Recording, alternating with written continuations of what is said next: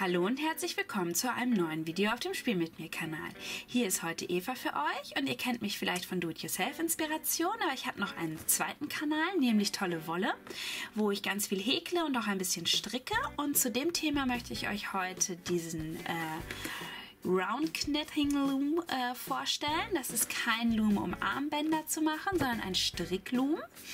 Damit kann man, wie ihr hier auf dem Bild seht, unten stricken und ich mache heute ein Unboxing damit. Das ist einmal diese Großpackung, da sind vier Stück drin in ähm, hellgrün, lila, orange und in dem schönen Pink.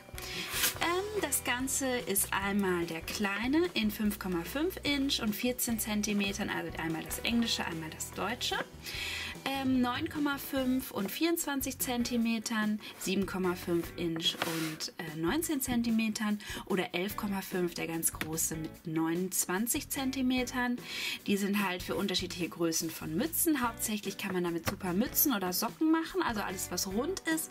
Aber man kann damit auch äh, Loops machen, also Rundschals oder man kann damit auch glatt äh, stricken. Das sieht auch super schön aus. Dann ist da also dabei sind die vier äh, Ringe dann ein Haken und eine Nadel, also insgesamt sechs Teile. Dann wollen wir mal reingucken. Das Ganze lässt sich hier an der Seite öffnen. Auf der Rückseite habe ich hier noch die Anleitung.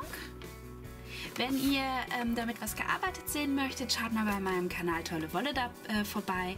Da findet ihr Anleitungen dazu, wie das Ganze richtig funktioniert und wie ich auch Mützen damit mache zum Beispiel. Und jetzt will ich erstmal reinsehen.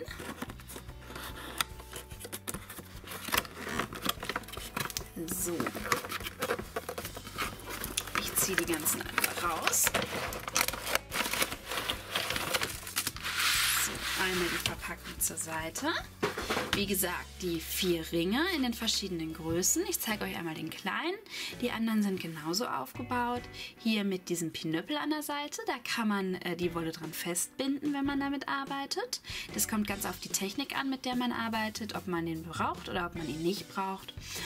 Und ja, die anderen sind halt genauso aufgebaut. Die haben auch alle dieses kleine Pinöppelchen an der Seite und die Nadeln noch dazu. Einmal der Haken. Ähm, ja, dieser Haken mit dem etwas größeren Köpfchen, ein bisschen wie eine Häkelnadel, die oben ein bisschen länger ist. Und die Nadel, um das Ganze nachher zu vernähen. Oben mit einer großen Öse, damit man auch mit dicker Wolle arbeiten kann. Und ja, so sieht das Ganze aus. Wie gesagt, wenn ihr Lust auf Anleitungen damit habt, schaut mal bei meinem Kanal Tolle Wolle vorbei. Ich verlinke euch das Ganze. Da findet ihr auch noch mehr Häkelanleitungen. Und ja, bis zum nächsten Mal bei, auf dem Spiel mit mir Kanal.